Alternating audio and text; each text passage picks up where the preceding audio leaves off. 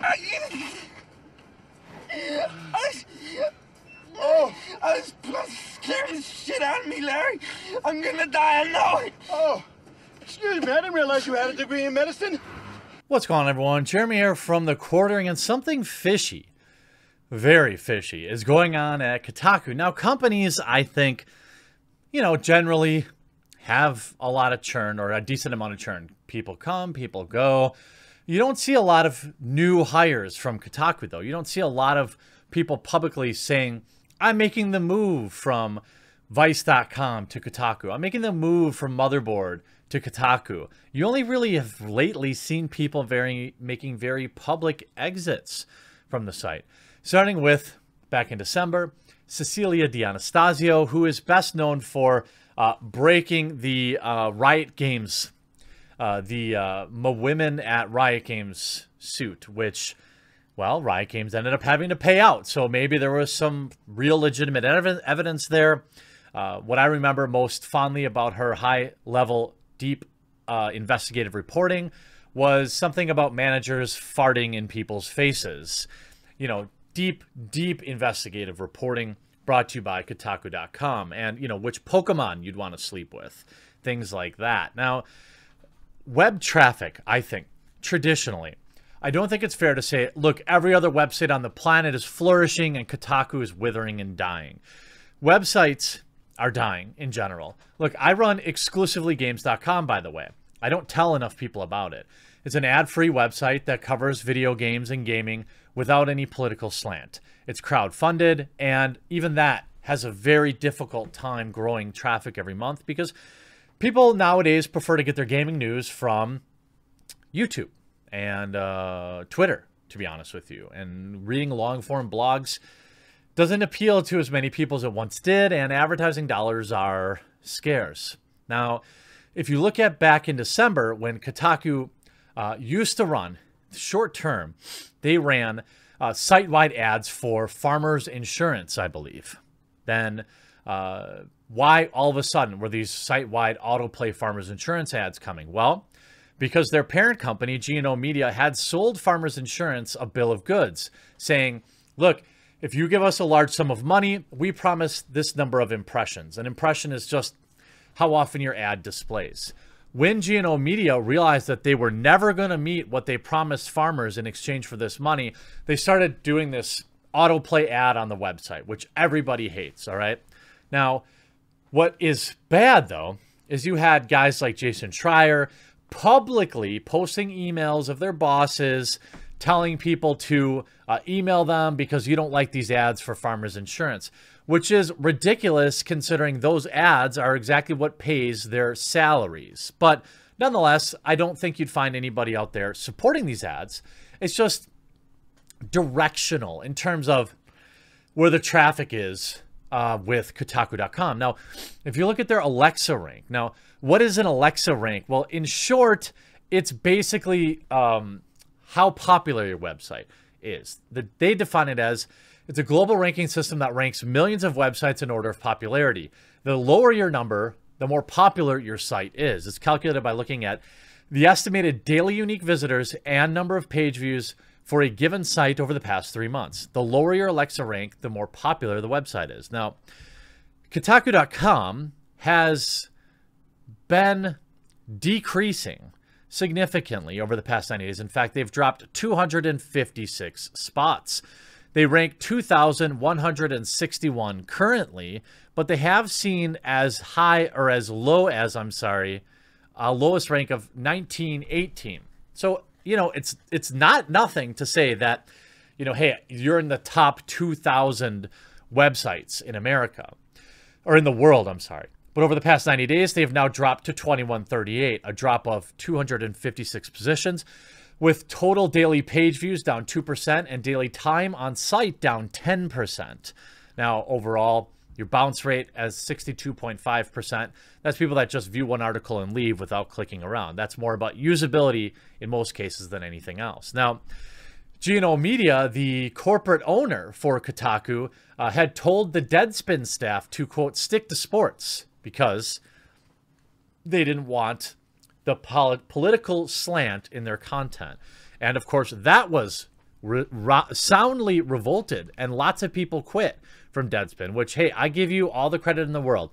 If you want to whine about it on Twitter, I don't have time for you. But if you quit and you go find another job, that's hey, that's good for you. If you want to talk about, you know, Drumpf and baseball instead of just baseball, then you find a spot to do that.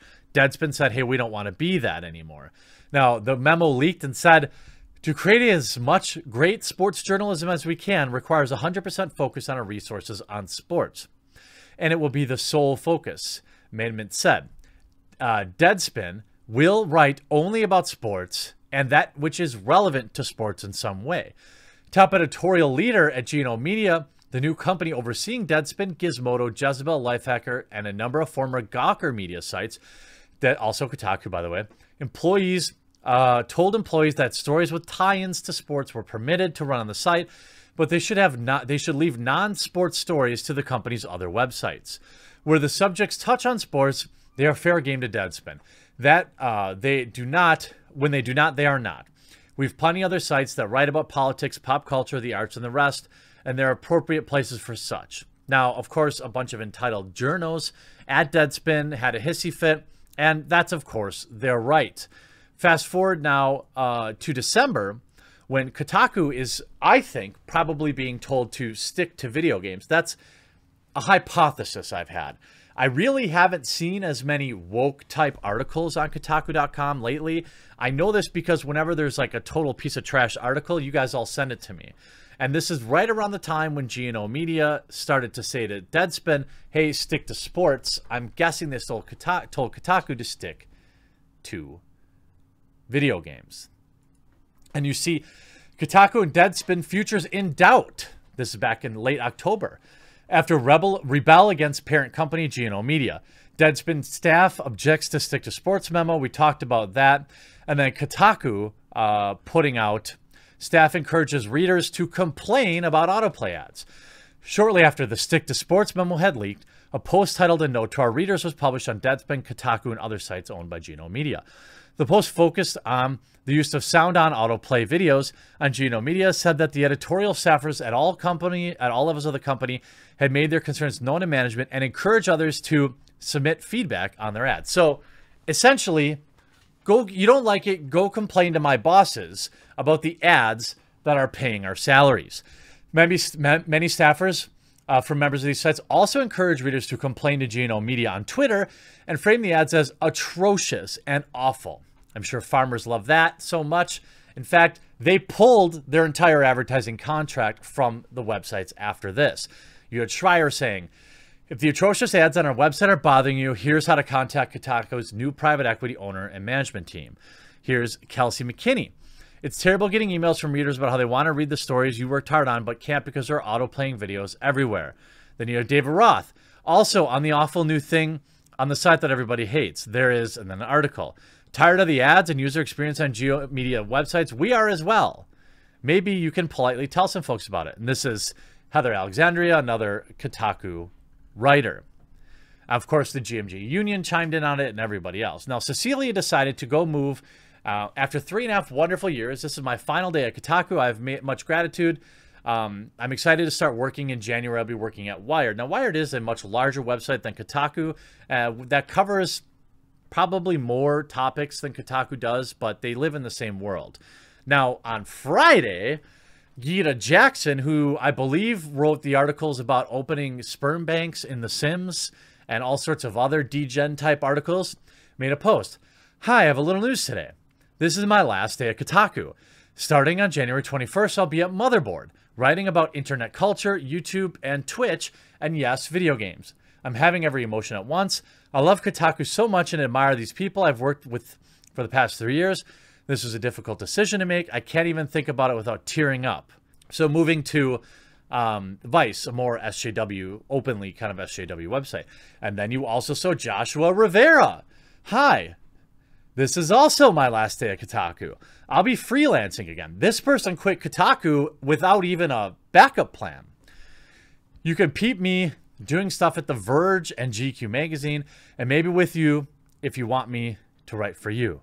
It's been real. This dude just quit with no backup plan whatsoever.